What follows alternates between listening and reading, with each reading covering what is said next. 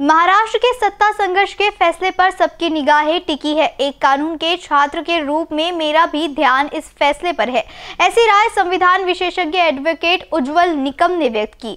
उन्होंने कहा कि उच्चतम न्यायालय की संविधान पीठ ने महाराष्ट्र में सत्ता संघर्ष को लेकर आठ से नौ याचिकाओं पर एक साथ सुनवाई की। इनमें से अलग अलग कानून पेंच है। विधायकों की सेवानिवृत्ति, उपाध्यक्ष के खिलाफ प्रस्ताव, साथ ही विशेष विधायकों की अयोग्यता। दोनों ही समूह के विभिन्न और राज्यपाल का एक अधिनियम यह इससे जटिल बनता है। ऐसे कई मुद्दों पर हमारी संवाददाता क्षितिजा देशमुख ने खास बातचीत की है उज्जवल निकम से। आइए डालते हैं एक नज़र।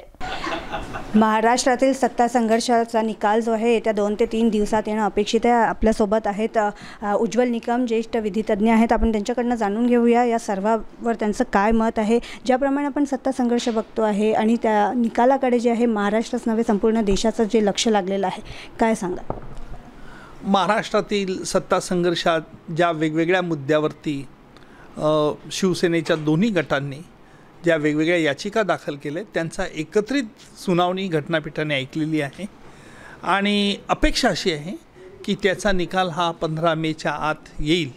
म्हणजे साधारणत शुक्रवार हा लास्ट वर्किंग डे शुक्रवारपर्यंत हा निर्णय येण्याची शक्यता आहे. समजा हा निर्णय शुक्रवारपर्यंत आला नाही कारण आपण बघतोय की जज जे आहेत ते देखील रिटायर होणार आहे आणि जर पुन्हा ही सगळी प्रोसेस व्हायची म्हटली तर किती कालावधी लागेल? नाही जर न्यायाधीश निवृत्त झाले घटनापीठाचा हा निर्णय येण्याच्या अगोदर. तर कदाचित बराच वेळ लागू शकतो आणि पुन्हा पुन्हा सुनावणी होऊ शकते.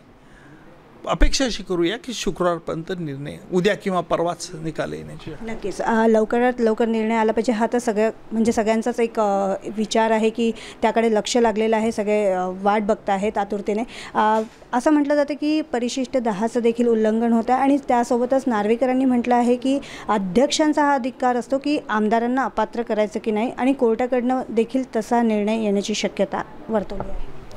नाही ही गोष्ट खरी आहे की दहाव्या परिशिष्टानुसार आमदारांच्या अपात्रतेचा निर्णय घेण्याचा अधिकार हा विधिमंडळ विधानसभेच्या अध्यक्षाला आहे. परंतु विधानसभेच्या अध्यक्षांच्या विरुद्ध सर्वोच्च न्यायालयात याचिका दाखल करण्यात आली आहे.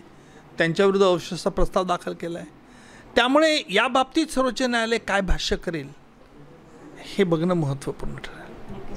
तुम्हाला एकंदरीत परिस्थिती बघून काय वाटतं नाही मला काय वाटतं हे नाही असं आहे की असं बाजू असं उत्तर दिल्याने मी एकाची बाजू ओढतो आहे किंवा एकाची वकिली करतो आहे.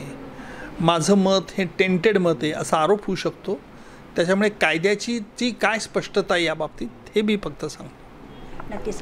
ज्याप्रमाणे महाराष्ट्रातील परिस्थिती निर्माण झालेली आहे अशी परिस्थिती भविष्यात कुठल्याही राज्यात निर्माण होऊ नये. याकरिता कोर्टाकडनं काही म्हणजे मेसेज देणं जरुरी आहे. का? असं वाटते का? किंवा असं काही कोर्टाने केलं पाहिजे? निश्चितपणे घटनापीठ हे त्याकरता स्थापन करण्यात आलेलं आहे की पाच न्यायाधीशच्या घटनापीठाकडनं हे अपेक्षित आहे की दहाव्या परिशिष्टामध्ये ज्या काही उणीव आहेत दोष आहेत त्या कशा रीतीने दूर करता येतील? आणि दहावं परिशिष्टाचा दुरुपयोग गैरवापर कधी होऊ शकणार नाही अशी काळजी सर्वोच्च न्यायालय घेईल आणि त्या दृष्टिकोनातून संसदेला कायदाही बनवायला सांगू शकतो. तर आपल्यासोबत होते उज्ज्वल निकम. महाराष्ट्रातील सत्ता संघर्षावर आपण त्यांच्यासोबत बातचीत केली आहे आणि त्यांनी अतिशय उपयुक्त अशी माहिती आपल्याला दिलेली आहे. कॅमेरा पर्सन राजकुमार मोहरसोबत मी Kshitija Deshmukh B C N news Nagpur.